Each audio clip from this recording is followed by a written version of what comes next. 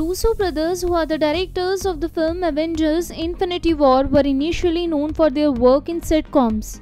The directors have pulled a new prank on the easily excitable Marvel fan base on Thursday. When the directors posted a picture in which they wrote E4 title reveal. Soon the Russo brothers deleted the post and the image they posted appears to be of a sign for artist Yayoi Kusama's installation at Houston called Infinity Infinity Mirrored Room Aftermath of Obliteration of Eternity. This got fans speculating that the title could be Avengers and Eternity and Avengers Aftermath were the top picks on Reddit. Swati report from Next 9 World.